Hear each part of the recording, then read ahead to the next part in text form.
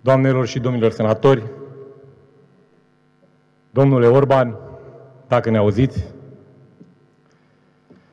ați avut la dispoziție trei săptămâni pentru a face o lege corectă, clară, care să nu permită niciun abuz și care să protejeze sănătatea cetățenilor.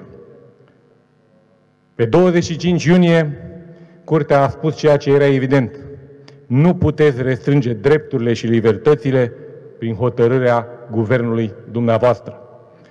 Pe 1 iulie, decizia Curții Constituționale a României a fost publicată în monitor oficial. Pe 3 iulie, oamenii deja ieșeau din spitale. Nu v-a interesat însă asta. În seara zilei de 6 iulie ați adoptat în ședința de guvern proiectul de lege care privea carantina persoanelor, carantinarea persoanelor. De-abia pe 7 iulie ați trimis la Parlament proiectul.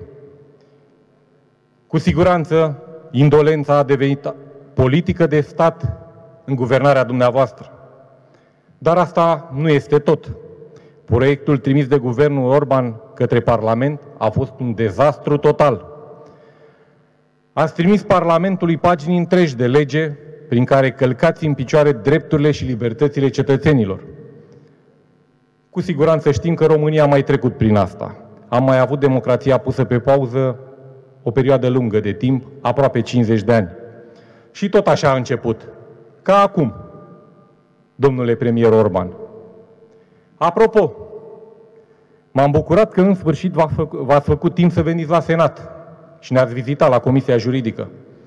Dar sincer speram la o dezbatere alături de dumneavoastră, nu la un simplu salut. Credeam că o să veniți și, să vă, și o să vă susțineți proiectul trimis către Parlament. Ar fi trebuit să aveți curajul să spuneți de la acest microfon românilor ce le pregăteați de fapt.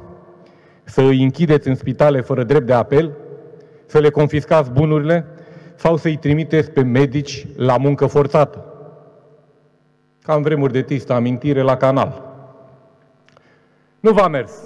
Deși a spus presiune pe Parlament, deși ne-ați acuzat de toate nenorocirile, ați mințit, ați amenințat, ați șantajat, totul ca să vă mascați propria incompetență.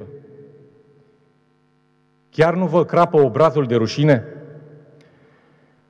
Am reușit în această dezbatere pe care poate dumneavoastră o considerați lungă, să aducem la aceeași masă societatea civilă, CSM-ul, medicii și pacienții și împreună, în Parlament, în condiții de totală transparență, am reparat toate nenorocirile pe care voiați să le băgați pe gât românilor. Astăzi vom vota o lege care într-adevăr protejează sănătatea românilor, dar care cu siguranță nu permite abuzurile. O lege care prevede măsuri graduale, o lege care prevede că evaluarea fiecărui bolnav nu va putea depăși o perioadă de maxim 48 de ore, că tratamentul pacienților se face doar cu consimțământul acestora, că medicii nu vor putea fi detașați decât voluntar, cu dublarea salariului ca regulă și că avem acum siguranța existenței unei spitale mobile care pot oferi necesarul de paturi pentru bolnavi. Cu siguranță putem spune că am readus normalitatea în viața românilor. Cu siguranță este bine că ați plecat în viteză de la Parlament, pentru că nu v-a rămas nimic de făcut aici, domnule Orban. Mai bine că ați mers la guvern, pentru că de data asta ar fi cazul să vă luați în serios funcția deținută. Trebuie să luați măsuri pentru ca economia, românea, pentru ca economia românească să pornească în forță, trebuie să găsiți soluții pentru milionul de șomeri, trebuie să respectați legea și să dublați alocațiile copiilor și să majorați pensiile așa cum este prevăzut în lege. Altfel, domnule premier Orban,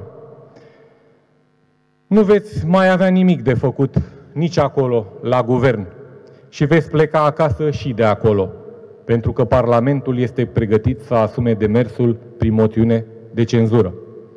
Da, cu siguranță azi grupul PSD va vota pentru proiectul de lege în forma în care a ieșit din Comisia Juridică.